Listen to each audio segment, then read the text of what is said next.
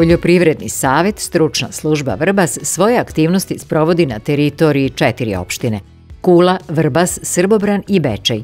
Obradiva površina teritorije delovanja Poljoprivrednog saveta obuhvata 148.000 hektara sa 26 naseljenih mesta.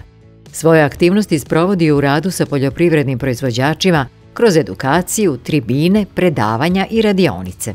Ono što je sada trenutno aktualno jeste e-agrar i rad sa poljoprivrednim proizvođačima gdje su oni maksimalno zahvalni i mi se maksimalno trudimo da svoje aktivnosti trenutno koje su počele prošle godine, znači 2023. u kažem, februaru, martu mesecu i traju do današnjeg dana, usmjereno na obnovu i registraciju ovaj, površina koje obrađuju sami poljoprivredni proizvodnjači, odnosno registrovna poljoprivredna gazdinstva.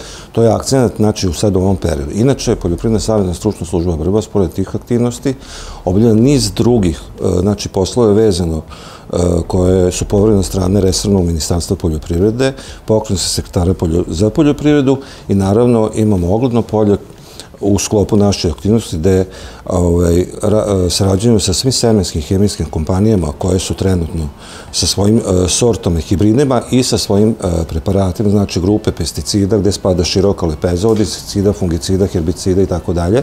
Znači, uh, demonstriramo na svom oglednom polju gde u toku proizvodne godine organizujemo dane polja, gde prikazujemo kako e, ta sredstva deluju na našem lokalitetu i kako pojedini sorti i hibridi e, pokazuju se na našem lokalitetu, što je bitno za naše poljoprivredne proizvodjače sa teritoriju delovanja naše službe.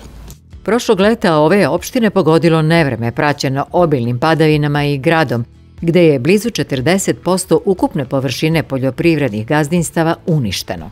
To je onako akcent dat prošle godine na to i mi ispred službe ovlašćeni od E, pokren sekretara ministarstva, ovlašćeni od opštine Vrbas, opštine Srbobrana, opštine Bečej, smo se maksimalno trudili da poljoprivredne, za poljoprivredne proizvodjačima izađemo u susret, da vidimo koje su to maksimalne štete na e, ovaj, površinama, e, šta je ugroženo, konstatovali situaciju na terenu, i da bi poljoprivredni proizvodjači mogli da ostvare neku nadoknadu, da li su osigurali ili ne, to je sada relativna stvar prošle godine, ali ovaj, izašli smo na teren i na taj način ovaj, pomogli poljoprivrednim proizvodjačima.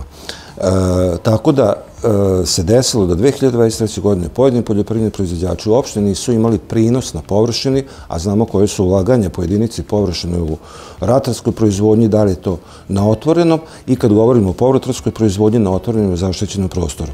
Znači, puno uloženo, a prinosa i ništa prošle godine nije bilo.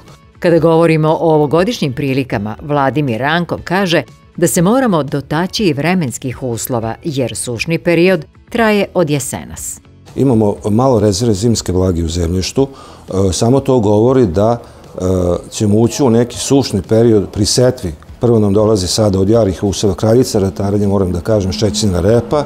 Evo, ovih danas neki 20 milijuna protiv kvadratnog metra, što je izuzetno malo i neće nadoknati onaj deficit vlage u zemljištu. Kada govorimo o rezervne zimske vlage u zemljištu, mislimo na period novembar, decembar, januar i februar. E, ta količina padavina koja bi trebala da bude sumirana u ta četiri meseca kao rezervna zimska vlaga, trebalo bi da se kreće nekih od 230 do 250 mm po kvadratnom metru. Mi ovog momenta nemamo ni 170 mm.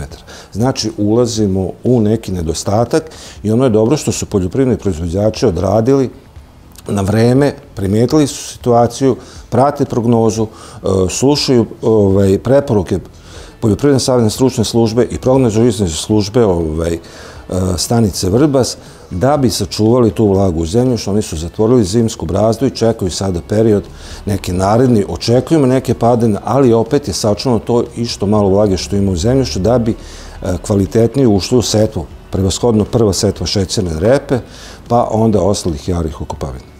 Savet poljoprivrednim proizvođačima je da obilaze svoje useve u ovom periodu, kaže Rankov. Prevashodno se misli na pšenicu, ječam kao i uljanu repicu, jer je pojava patogenih štetočina trenutno aktuelna na terenu. Takođe, savjetuje se i zaštita useva. Oni poljoprivredni proizvođači e, koji nisu radili prihranu ozime pšenice ili prihranu uljane repice, e, pre toga preporuka naš iz Poljoprivredne savjetne stručne službe Vrbas obavezno da urade prvo ovaj, agrohemijsku analizu zemljišta na sadržaj lako pristupačnog azota u zemljištu.